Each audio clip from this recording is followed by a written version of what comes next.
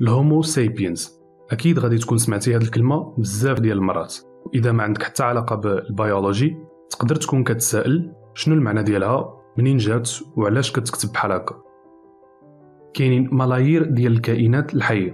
باش كتسهل علينا الدراسة ديالها كل كائن حي كنعطيوه اسم علمي وكنقسموهم لمجموعات. العلم اللي كيهتم بتصنيف الكائنات الحية هو taxonomy في كاينين ثمانية ديال ال ranks أو المستويات واللي هما domain kingdom phylum class order family genus و species أي كائن حي اللي ممكن يطيح لك على بالك؟ كيدخل في واحد من هاد الثلاثة ديال ال domains إما ال Archaea البكتيريا أو ال Eukarya ال Archaea هي كائنات أحادية الخلية وهي من أقدم الكائنات الحية اللي ظهرت على سطح هذا الكوكب. تقريبا هذه 3.5 مليار سنة. مجموعة من الكائنات اللي كتنتمي لل domain ديال ال Archaea عندها قدرة عجيبة على التأقلم في ظروف اللي جد قاسية. مثلا في مناخ اللي درجة الحرارة ديالو جد عالية أو مناخ اللي قليل فيه الأكسجين. هاد القدرة على التأقلم هي اللي خلاتها عايشة لهذه ملايير السنين وماشي بعيد إذا وقع شي mass extinction أو انقراض جماعي. ممكن ينقرض الإنسان واستمر مورانا لملايير سنين أخرى. ال domain الثاني هو البكتيريا. البكتيريا هي كذلك من بين أول الكائنات الحية اللي ظهرت على سطح هذا الكوكب. في هذه اللحظة اللي كتفرج فيها هذا الفيديو كاينة ملايير ديال البكتيريا اللي عايشة على الجلد ديالك في المعدة أو المعي ديالك. في الحقيقة ما عمرنا كنا بوحدنا ودائما عايشة معنا ملايير ديال الكائنات الحية. ال Archaea والبكتيريا كيتعتبروا prokaryotes يعني الخلايا ديالهم ما فيهاش nucleus أو النواه من بعد ما تطورت ال Archaea الملايير السنين عطاتنا eukaryotes. وهما الكائنات الحية اللي الخلايا ديالهم فيهم nucleus أو النواه ال eukaryotes كينقسموا لأربعة ديال ال kingdoms أو الممالك واللي هما kingdom of Animalia kingdom of Plantae kingdom of Fungi وال kingdom of Protista الحيوانات هي كائنات اللي متعددة الخلايا قادرة على الحركة أو التنقل macroscopic يعني ممكن ملاحظتها بالعين المجردة وكتعتبر مستهلكة يعني كتغذى على حيوانات أو نباتات أخرى.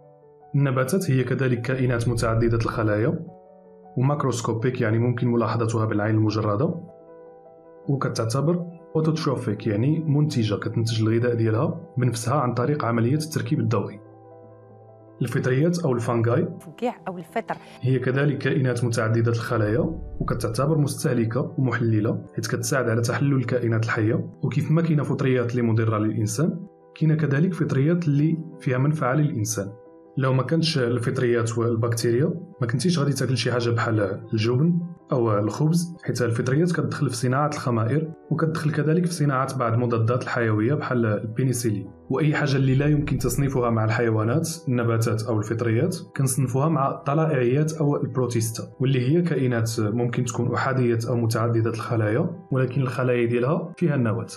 مملكة الحيوانات كتنقسم لبزاف ديال ال phylums اللي كيهمنا هو ال Chordata أو الحبليات. الحبليات كتمتاز بوجود حبل عصبي حبل ظهري جيوب بلعوميه وديل ممتد خلف الشرج على الأقل لواحد الفترة من الحياة ديالها. هاد ال phylum of Chordata أو الحبليات كينقسموا لبزاف ديال ال classes بحال الطيور الزواحف البرمائيات. اللي كيهمنا هو الثدييات أو ال Mammalia. الثدييات عادة ما تلد ولا تبيض كترضع الصغار ديالها بالحليب عن طريق الثدي.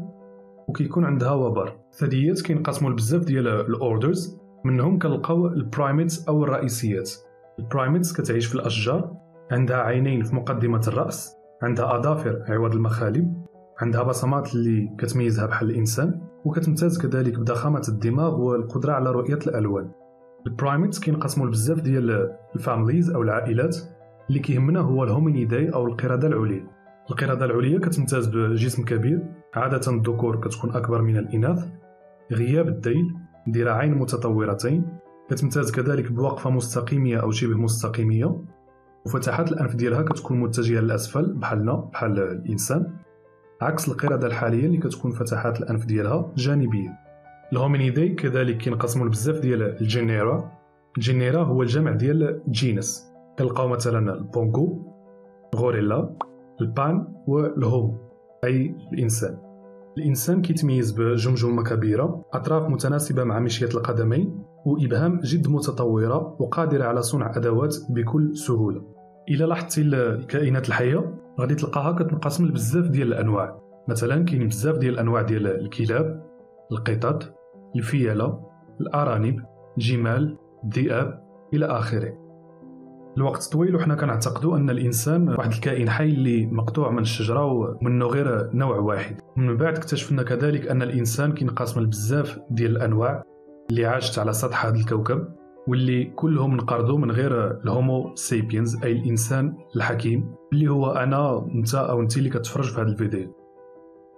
باش كنتفاداو اختلاف الكلمات من اللغة الاخرى فاش كنبغيو نعطيو اسم علمي لأي كائن حي كنستخدموا ال binomial nomenclature أي أننا كنكتبوا ال genus اللي كيكون capitalized وحداه كنكتبوا species وكلشي كيكون in italics وهذه هي شجرة الحياة من هذه ملايير السنين إلى يومنا هذا.